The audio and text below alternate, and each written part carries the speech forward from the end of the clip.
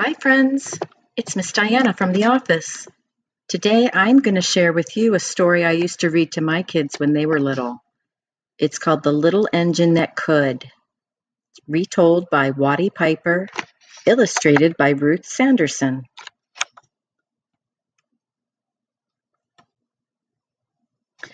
Chug, chug, chug, puff, puff, puff, ding dong, ding dong. The little train rumbled over the tracks she was a happy little train, for she had such a jolly load to carry. Her cars were filled full of good things for boys and girls. There were toy animals, giraffes with long necks, teddy bears with almost no necks at all, and even a baby elephant. Then there were dolls, dolls with blue eyes and yellow curls, dolls with brown eyes and brown bobbed heads and the funniest little toy clown you ever saw. And then there were cars full of toy engines, airplanes, tops, penknives, picture puzzles, books, and every kind of thing boys or girls could want. But that was not all. Some of the cars were filled with all sorts of good things for boys and girls to eat. Big golden oranges, red-cheeked apples, bottles of creamy milk for their breakfasts, fresh spinach for their dinners, peppermint drops, and lollipops for after-meal treats. The little train was carrying all these wonderful things to the good little boys and girls on the other side of the mountain, and she puffed along merrily. Then, all of a sudden, she stopped with a jerk. She simply could not go another inch. She tried and she tried, but her wheels would not turn. What were all those good little boys and girls on the other side of the mountain going to do without the wonderful toys to play with and the good food to eat? Here comes a shiny new engine, said the funny little clown, who jumped out of the train. Let us ask him to help us. So all the dolls and toys cried out together. Please, shiny new engine, won't you please pull our train over the mountain? Our engine is broken down, and the boys and girls on the other side won't have any toys to play with or good food to eat unless you help us. But the shiny new engine snorted. I pull you? I'm a passenger engine. I have just carried a fine big train over the mountain, with more cars than you've ever dreamed of. My train had sleeping cars with comfortable berths, a dining car where waiters bring whatever hungry people want to eat, and a parlor car in which people sit in soft armchairs and look out of big plate glass windows. I pull the likes of you? "Indeed not!" And off he steamed to the roundhouse, where engines live when they're not busy. How sad the little train and all the dolls and toys felt! Then the little clown called out, "The passenger engine is not the only one in the world. Here is another engine coming. It's a great big strong one.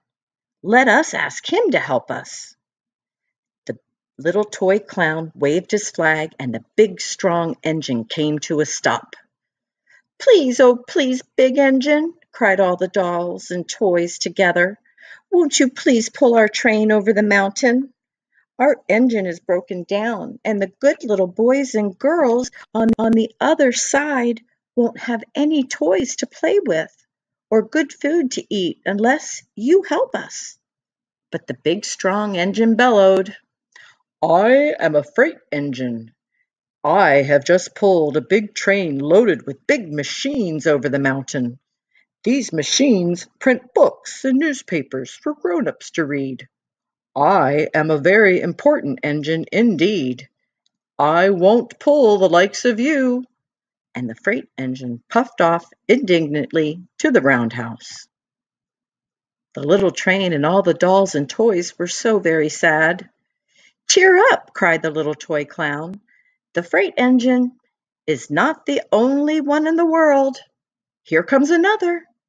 He looks very old and tired, but our train is so little, perhaps he can still help us."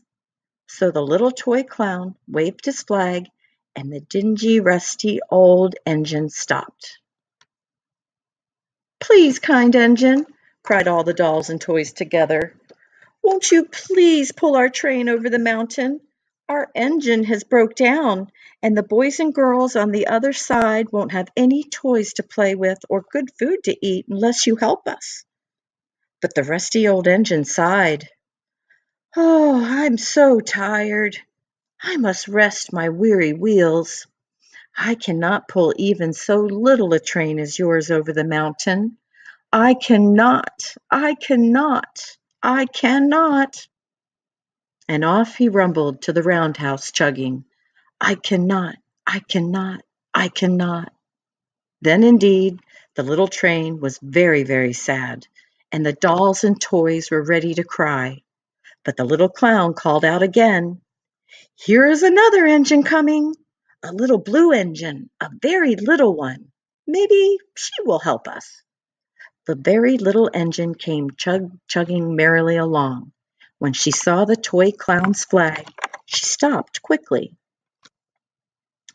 "What is the matter, my friends?" she asked kindly. "Oh, little blue engine!" cried the dolls and toys. "Will you pull us over the mountain? Our engine has broken down, and the good boys and girls on the other side won't have any toys to play with or good food to eat unless you help us. Please, please help us, little blue engine!" "Mm, I'm not very big," said the little blue engine. "They use me only for switching trains in the yard. I have never been over the mountain." "But we must get over the mountain before the children awake," said all the dolls and toys. The very little engine looked down and saw the tears in the doll's eyes, and she thought of the good little boys and girls on the other side of the mountain who would not have any toys or good food unless she tried to help. Then she said, I think I can, I think I can, I think I can. And she hitched herself to the little train. The toy clown jumped aboard, and all the dolls and toy animals began to smile and cheer. She, she tugged and she pulled, she pulled and she tugged, and slowly, slowly, slowly they started off. Puff, puff, chug, chug, went the little blue engine.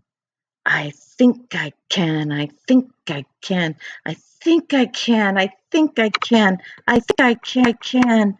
I think I can, I think I can, I think I can, I think I can.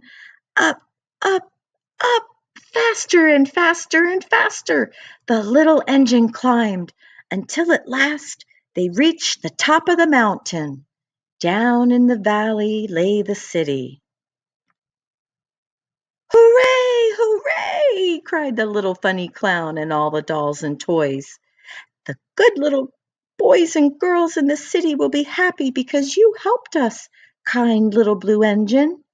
And the little blue engine smiled and seemed to say, as she puffed steadily down the mountain, "I thought I could. I thought I could, I thought I could, I thought I could. I thought I could, I thought I could. The end. So, friends, when you feel like you just can't do it, don't give up. Just keep chugging along because if you really want to do it, hard work pays off. Take care. Stay healthy. We miss you. Bye for now.